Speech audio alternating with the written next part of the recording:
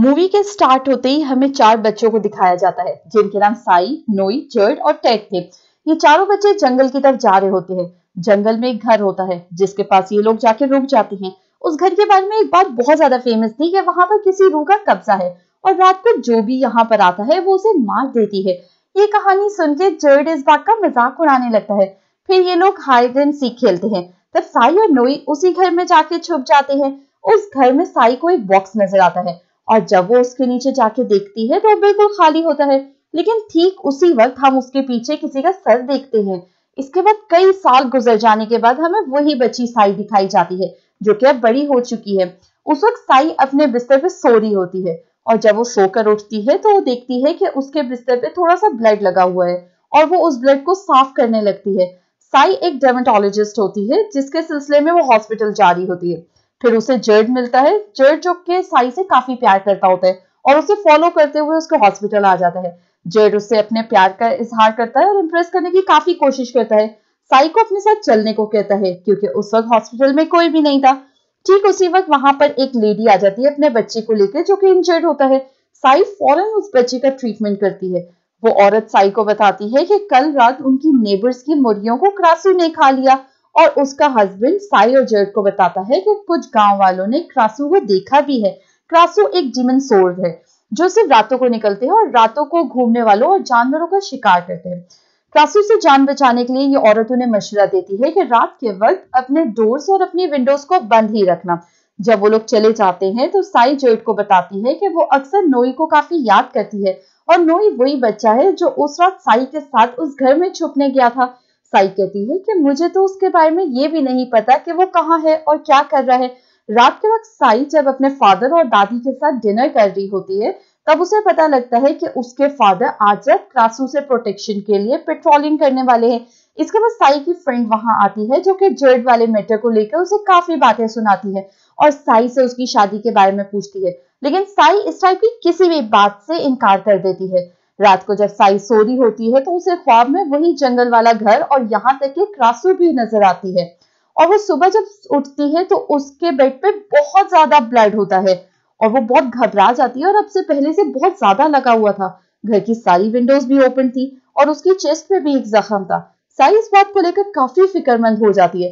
साई जब हॉस्पिटल से जाने वाली होती है, तब वो जर्ट को अपने साथ उसी जंगल वाले घर में जाने का कहती है। वो दोनों जब उस घर की तरफ़ जा रहे होते हैं तब रास्ते में उन्हें उनका बचपन का दोस्त नोई भी मिल जाता है। वहाँ पर नोई के साथ क्रासू को मारने वाले लोगों का एक ग्रुप भी होता है। ये लोग क्रासू के हंटर्स होते हैं, जो कि गाँव वालों को क्रासू की कहानियाँ बता बता के काफ़ी डरा देते हैं। वो बताते हैं कि क्रासू सबसे पहले मुर्गियों का शिकार करते हैं और जब सारी मुर्गियाँ खत्म हो जाएँगी तो गाय, भैंस, बकरियों को और फिर जब ये भी कुछ नहीं रहेगा तो वह इंसानों को अपनी भूख मिटाने का ज़रिया बनाएँगे। क्रासू हंटर्स का लीडर अपने साथ मारे हुए सर भी लेकर आया होता है क्रासू का।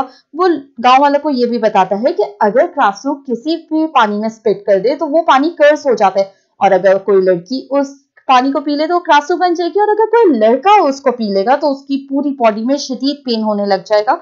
और इस दर्द की शिद्दत से वो मर जाएगा। उसकी बातें सुनकर गाँव वाले बहुत डर जाते हैं और उससे गाँव में रहने के लिए अलाउ कर देते हैं। साई नोई का रहने के लिए सारा इंतज़ाम करती है। हॉस्पिटल में और जर्ड और उसके फ्रेंड नोई को कुछ कपड़े और ज़रूरत का सामान देती हैं। दूसरी तरफ़ साई को कुछ अजीब सी फीलिंग हो रही होती है और वो जर्ड को कहती है कि वो अकेले ही जाना चाहती है और ये कह के वो अकेले ही चल पड़ती है।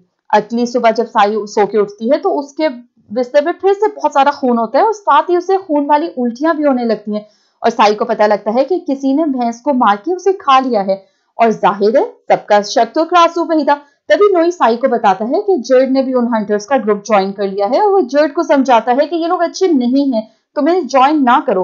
लेकिन जर्ड नोई की एक नहीं सुनता और कहता है कि मैंने गाँव वालों की हिफाजत के लिए इस ग्रुप को ज्वाइन किया है। और रात को जर्ड क्रासू हंटर्स के साथ जब पेट्रोलिंग पे जाने लगता है तो उससे पहले वो साई के पास आता है और उसे एडवाइस करता है कि वो दरवाजे और खिड़कियाँ बंद रखे और ये कह के वहाँ से चला जाता है। फिर साई को अजीब सी फीलिंग होने लग जाती है और साथ साथ उसे शरीर पेन भी होने लगता है। और देखते ही देखते वो क्रासू में बदल जाती है। और यहाँ पे एक बहुत बड़ा राज खुलता है कि साई असल में क्रासू थी। और हर रोज जब वो ख्वाब देखती थी ख्वाब नहीं बल्कि सब कुछ हकीकत में उसके साथ होता था। इसी के साथ साई के फ्रेंड का बेटा भी गायब था और वो उन्हीं क्रासू हंटर्स के पास जाती है और वो वो क्रासू साई जो है वो हवा में फायर करने लगती है और हंटर्स उस पर गोली चलाने लगती है। और तभी जेड वो उस बच्चे को वापस ले आती है और क्रासू जब वापस जा रही होती है, तब नोई उसे देख लेता है नोई उसको पीछा करते हैं तो वो देखता है कि साई के रूम में चली गई है। नोई विंडो से देखता है तो वो देखकर बहुत ज़्यादा शौक हो जाता है, क्योंकि अब उसे पता लग चुका होता है कि साई ही असल में क्रॉस हुए, और वो बहुत डर जाता है। नेक्स्ट मॉर्निंग जब साई हॉस्पिटल पहुँचती है तो वो देखती है कि वहाँ पर नोई नहीं है, जिसे देखकर वो बहुत सैड हो जाती है। नोई जिसको साई साई की रियलिटी पता लग चुकी होती है, वो काफ़ी डर जाता है, और फिर वो भाग चुका होता है। इस मोमेंट में साई को किसी के सहारे की ज़रूरत थी, लेकिन उसका फ्रेंड तो उसे छोड़ के भाग चुका होता है। वो डर के एक टेंपल में जाकर नोई सो जाता है और वहाँ पर क्रासू के बारे में मॉन्क से पूछता है। वो कहता है कि क्रासू किसी को नुकसान नहीं पहुंचाता और ये डेमन काफ़ी अरसे से इंसानों के साथ रह रहा है और ये कोई और नहीं, बल्कि ब्लैक मैजिक करने वाले इंसान ही होते हैं, जिनके रॉन्ग मैजिकल स्पेल की वजह से डेमन में बदल जाते हैं। इसकी सजा ये होती है कि लड़कियाँ क्रासू बच जाती है और लड़के क्रैन। नोयो ने ये बताता है कि मेरा कोई बहुत ही करीबी क्रासू बन गया तो मॉन्क उसे कहते हैं, तुम्हें कोई जज्बाती फैसला नहीं करना चाहिए, तुम्हें अपने दिल की सुननी चाहिए। रात के जब क्रासू बन जाती है साई तो नोई उसके लिए बहुत सारी मुर्गियाँ लेकर आता है। साई वो मुर्गियाँ खा लेती है, इसलिए वो बाहर नहीं जाती। नेक्स्ट मॉर्निंग जब साई हॉस्पिटल जाती है और देखती है कि नोई वहीं पर है तो उसे देखकर बहुत ज़्यादा खुश हो जाती है। इसके बाद हर रात नोई साई के लिए बहुत सारी मुर्गियाँ लाया करता था, जिसकी वजह से उसे बाहर जाने की ज़रूरत नहीं पड़ती थी। दूसरी तरफ़ गाँव वाले इस वजह से बहुत परेशान हो जाते हैं कि एक माँ गुजर गया और किसी ने क्रासू को नहीं देखा, लेकिन स्टिल उन हंटर्स के साथ था। नोई जो कि बहुत स्ट्रगल कर रहा था और इसका ट्रीटमेंट ढूंढ रहा होता है। मॉन्क नोई को बताता है कि एक क्रासू हर्ब नाम का पौधा है जिसको खा लेने के बाद एक क्रासू नॉर्मल इंसान बनना शुरू हो जाता है। साई हॉस्पिटल में एक बच्चे का ट्रीटमेंट कर रही होती है। तभी नोई वहाँ आ जाता है और उसे एक जूस देता है, जिसे वो पीकर रख देती है और वो बचा हुआ जूस वो बच्ची पी लेती है। उसका झूठा पीते ही वो बच्ची भी कर्ज हो जाती है। और वो भी क्रासू बन चुकी होती है। रात को उसके पेरेंट्स जब उस बच्चे को क्रासू बनता देखते हैं तो बहुत ज़्यादा डर जाते हैं और वो क्रासू हंटर्स को बुला लेते हैं। क्रासू हंटर्स ग्रुप का लीडर उस बच्ची को मजी हुई, मरी हुई छिपकली का लालच देते हैं और उसे अपने पास बुलाते हैं। और जब वो बच्ची उनके ट्रैप में फंस जाती है तो उसे शूट कर देते हैं और उसका दिल निकाल लेते हैं। टेड बच्चों के पेरेंट्स से पूछता है कि क्रासू कब से बनी, जिससे वो कहती है कि हॉस्पिटल से आने के बाद वो क्रासू बनी। और अब टेड को साई पे शक हो गया था कि वही क्रासू है। और उसकी वजह से वो बच्ची भी क्रासू बनी। साई, इस बात को लेकर काफ़ी ज़्यादा सैड होती है कि उसकी वजह से बच्ची की जान चली गई और वो इस बच्ची की तरह इन क्रासू हंटर्स का शिकार नहीं बनना चाहती थी। नोई साई का साथ देता है और उसे समझाता है और फिर साई उसे अपने साथ जंगल में चलने को कहती है, क्योंकि वो घर हर रात उसके ख्वाब में आता था और साई समझती थी कि शायद वहाँ पर इस प्रॉब्लम का हल हो। तो फिर टेक नोई और साई पे नज़र रखे होते हैं और उनको देख लेते हैं वहाँ जाते हुए। साई और नोई जब उस घर के पास पहुँचते हैं तो उसे वो क्रासू हर्ब मिल जाता है। साई जब उसे खाती है तो उसे अच्छा फील होता है और वो दोनों खुश हो जाती है क्योंकि इस पौधे को खाने के बाद उस कर्ज से वो आज़ाद हो जाती है और उसे शिकार करने के लिए किसी को मारना भी नहीं पड़ता। इतनी देर में वो क्रासू हंटर्स और जर्ड भी वहाँ आ जाते हैं। जर्ड उन दोनों को जब किस करते हुए देखता है तब वो आपे से बाहर हो जाता है और नोई को बहुत बुरे तरीके से मारने लगता है। दूसरी तरफ़ साई उस पौधे को लेकर वहाँ से भाग जाती है। वो सब हंटर्स साई का पीछा करते हैं। साई उस घर में चली जाती है और उस बॉक्स को पास चली जाती है। बचपन में उसके साथ होने वाले सारे इंसिडेंट्स उसे यहाँ पर याद आ जाते हैं कि छोटे होते हुए जब वो लोग हाइड एंड सीख खेल रहे थे और साई यहाँ पर छिपी थी तो उस क्रासू ने साई को भी कर्स कर दिया था। और क्रासू के साथ जो हुआ था, वो भी उसे सब पता लग जाता है और वहीं पर साई की सारी मेमोरी रिफ्रेश हो जाती है। वो सारे हंटर्स उस घर में घुस जाते हैं साई को मारने के लिए। ये देखकर बहुत गुस्से में आ जाती है और देखते ही देखते वो क्रासू में बदल जाती है। एक एक करके वो उनको अटैक करती है और उनको मार देती है। गोलियों की आवाज़ सुन के जेड भी घर के अंदर आ जाता है और वो देखता है कि टेट साई को शूट करने ही वाला है। जेड से उसको रोकता है और टेट उससे गुस्से में आ जाता है और जेड पे अटैक कर देता है। जेड शदीद जख्मी हो जाता है और बेहोश हो जाता है।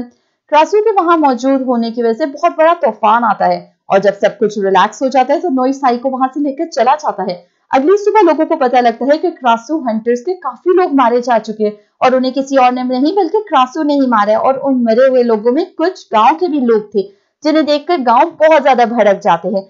और तभी वहाँ पर टेड जख्मी जेड को भी लेकर पहुँच जाता है। टेड बताता है जेड के पेरेंट्स को कि इसकी हालत क्रासू ने की है। कल रात जब वो क्रासू का पीछा करते करते जंगल में पहुँचे थे तो क्रासू ने उनके दो साथियों को भी मार डाला। और यहाँ पर वो ये राज भी खोल देता है कि साई ही क्रासू है। ये सुनकर बहुत सारे विलेजर्स गुस्से में आ जाते हैं और वो साई को मारने का डिसीज़न लेते हैं। और गुस्से में वहाँ से भाग जाते हैं। इन सब की कन्वर्सेशन नॉइस सुन लेते हैं और वो जल्दी से साई की तरफ़ भागता है ताकि वो उसे सारी बात बता सके और इन लोगों से उसे सिक्योर कर सके। साई जो के पेन को काफ़ी फील कर रही होती है, वो फ़ौरन से उन पौधों को ढूंढ रही होती है। और इन दोनों की किस करने की वजह से नोई को भी वो दर्द होना शुरू हो जाता है और फाइनली वो भी कर्स्ड हो जाता है। साई के फादर गाँव वालों और हंटर्स को ऐसा करने के लिए रोकते हैं, जिसके बदले में वो लोग कहते हैं कि वो साई को भी मार देंगे और उनका घर भी जला देंगे। इसी तरह साई के फादर साई को घर से बाहर बुलाते हैं। साई जो कि वो प्लान खा चुकी होती है, इसलिए वो क्रासू में नहीं टर्न हुई होती। टेड उसे देखकर काफ़ी ज़्यादा हैरान हो जाता है कि वो अभी तक नॉर्मल स्टेज में कैसे है। वो सबके सामने साई विलेजर्स की डेथ का क्रासो पे जब इल्ज़ाम लगाता है, जिसके जवाब में साई उल्टा टेड और उसके साथियों पे ब्लेम लगा देती है। और वो सबको बताती है कि कल रात टेड और उसके साथियों ने मुझे किडनैप किया था और मेरे साथ ज़बरदस्ती करने की कोशिश की। और वो कहती है कि जेड ने मुझे इन लोगों के हाथों बचाया था और टेड को मजबूरन वहाँ से भागना पड़ता है। जेड जब अपने घर पहुँचता है तो वो देखता है कि टेड तो वहाँ पर छुपा है और टेड उस पर हमला कर देता है और उसे काट लेता है और उसके काटते ही जेड भी कर्स हो जाता है और क्रेन में बदल जाता है। जैसे लड़कियाँ क्रासू और लड़के क्रैन। टेड सबको मारने के बाद उनका दिल इसलिए निकाल लेता था क्योंकि असल में वो भी एक क्रैन था। ऐसा होने के पीछे एक बहुत कॉम्प्लिकेटेड कहानी छुपी है। क्रेन असल में एक शैतान है, जिसकी वाइफ क्रासू होती है। एक दिन उसे एक इंसान से प्यार हो जाता है। क्रासू इंसान के साथ भाग रही होती है, तभी क्रेन उसे पकड़ के मार लेता है और क्रासू का दिल निकाल लेता है। और उसी दिन से लेकर क्रान के दिल में बदले की एक आग चली हुई होती है और वो क्रासू को मार के उसका दिल निकाल लेता है। इसलिए हर रात साय फिर उसके बाद वो प्लांट खाती होती है और उसके नतीजे में वो क्रासू नहीं बदलती। जबकि दूसरी तरफ़ नोई मुसलसल इसका इलाज ढूँढने की कोशिश कर रहा होता है। की बहुत बुरी हालत हो चुकी थी और उसको देखकर उसके पेरेंट्स बहुत परेशान होते हैं। टेड उन सारे प्लांट्स को जला देता है जो कि साई के नॉर्मल होने के सोर्स थे। अब उनके पास कोई और रास्ता नहीं था, क्योंकि साई के पास अब सिर्फ़ दो पौधे रह गए थे और नोई भी इसका ट्रीटमेंट ढूँढने में नाकाम हो रहा था। इस सबसे जान छुड़ाने के लिए वो साई को कहता है कि वो मेरे साथ हांगकांग चले। साई जर्ड के घर जाती है और जब वो जर्ड की ऐसी हालत देखती है तो बहुत दुखी हो जाती है। जर्ड उसे बताता है कि मैं जानता हूँ तुम ही क्रास हो। और ये बात मुझे उस दिन पता लगी जब तुमने अपने साथ आने से मुझे मना किया और तुमने क्रासू बन के वो गाय खा ली। और यही वजह थी जिसकी वजह से मैंने हंटर्स की टीम को ज्वाइन किया ताकि मैं साई को दूर रख सकूँ विलेजर्स से।